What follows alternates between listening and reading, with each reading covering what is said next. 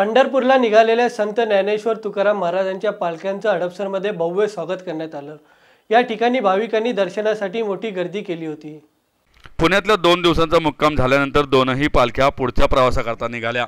हडपसरमध्ये दोन्ही पालख्या विसावाला थांबल्या. येथे हडपसरवासियांनी या पालख्यांचं भव्य स्वागत केलं. भव्य रांगोळी मंडप स्वागतासाठी घालण्यात आला होता. ज्ञानेश्वरांच्या पालखीचं हडपसर गाडीतळ येथे सकाळी नऊ वाजता आगमन झालं. तर त्यानंतर दोन तासांनी संत तुकारामांच्या पालखीचं आगमन झालं. दोन्ही पालख्यांचं हजारो भाविकांनी दर्शन घेतलं. पालख्यांबरोबर असलेल्या वारकऱ्यांना रस्त्यात अनेकांनी पाणी फराळ चहा बिस्किटांचं वाटप केलं. तर अनेक ठिकाणी वारकऱ्यांकरता मोफत औषध वाटपही करण्यात आलं. संत ज्ञानेश्वरांची पालखी पाऊण तासाच्या विसाव्यानंतर सासवड रोडने मार्गस्थ झाली. दिवे घाटाच्या खाली असलेल्या वडकी येथे विसावा घेऊन घाटाची बिकट वाट पालखीने पार केली आणि पालखी सासवड मुक्कामाला पोहोचली. सासवड येथे पालखीचा दोन दिवस मुक्काम असणार आहे. त्यानंतर पालखी पुढच्या मुक्कामासाठी निघेल.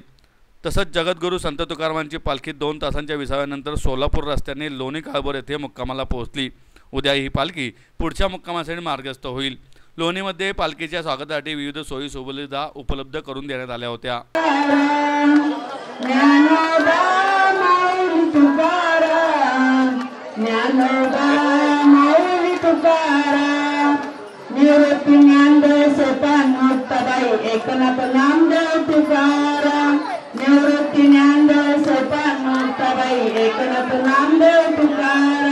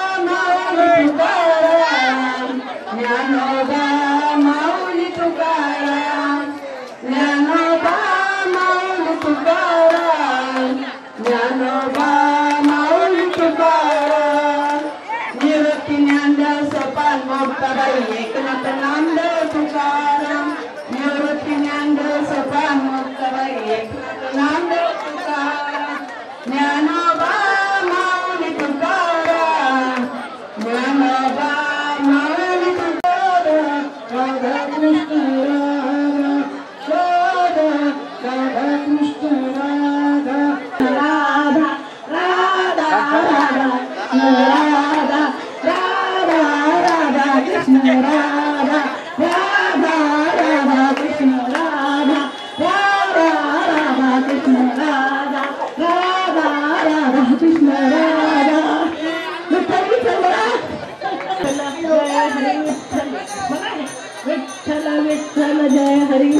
विठ्ठल विठ्ठल जय हरी विठ्ठल विठ्ठल विठ्ठल जय हरी विठ्ठल विठ्ठल विठ्ठल जय हरी विठ्ठल विठ्ठल विठ्ठल जय हरी विठ्ठल विठ्ठल विठ्ठल जय हरी विठ्ठल विठ्ठल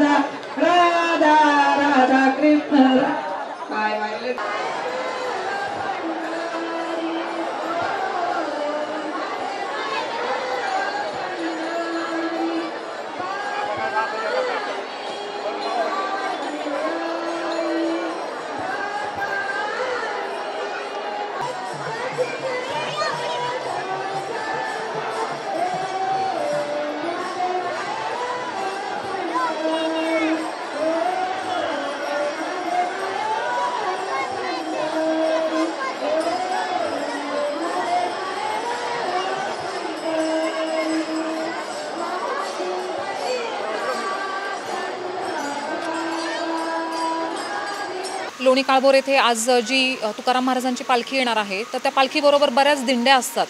आणि बरेच वारक दिंड्यांमध्येही बरेच वारकरी असतात. तर या पालखीसाठी ग्रामपंचायतीने पंधरा दिवस झाले आमचं नियोजन चालू आहे. ग्रामपंचायतीचे सर्व कर्मचारी सर्व सदस्य सरपंच उपसरपंच सर्वांनी पंधरा दिवसापासूनच नियोजनाची तयारी केलेली आहे आणि काल तर पूर्ण आमची तयारी पूर्ण झालेली आहे सर्व नियोजन झालेलं आहे. तर आज फक्त उत्सुकता आहे ती वारकऱ्यांच्या आगमनाची पालखीच्या आगमनाची. तर संध्याकाळी सात वाजेपर्यंत पालखी इथे पोहोचेलच. तर वारकऱ्यांसाठी ग्रामपंचायतीच्या वतीने ग्रामस्थांच्या वतीने या ठिकाणी येथे मोफ पाच हजार लोकांसाठी मोफत जेवणाची सुविधा ठेवलेली आहे. त्याचप्रमाणे उद्या अल्पोपहारासाठी दोन हजार लोकांची नाश्त्याची सोय केलेली आहे. यासाठी ग्र पालखी येथे येणार आहे. त्याच्यासाठी खबरदारीचा उपाय म्हणून फवारणी करण्यात फॉगिंग मशीनने फवारणी करण्यात आलेली आहे. फिल्टरचं पाणी उपलब्ध करून देण्यात आलेलं आहे. त्याचप्रमाणे स्वच्छतागृह गृह ठिकठिकाणी उभारण्यात आलेले आहेत. त्याप्रमाणे स्व इच्छेने ज्यांना वारकऱ्यांसाठी स्वच्छतागृह उपलब्ध करून द्यायच्या अशा सर्वांच्या घरावरती पांढरे झेंडे उभारण्यात आलेले आहेत की जेणेकरून वारकऱ्यांनाही समजावे की या ठिकाणी आपल्याला त्यांनी सुविधा करून दिलेली आहे तिथे आपली सोय होईल. यासाठी ते झेंडे तिथे उभारण्यात आलेले आहेत. आणि लोकांनी स्व इच्छेने ते उपलब्ध करून दिलेले आहेत.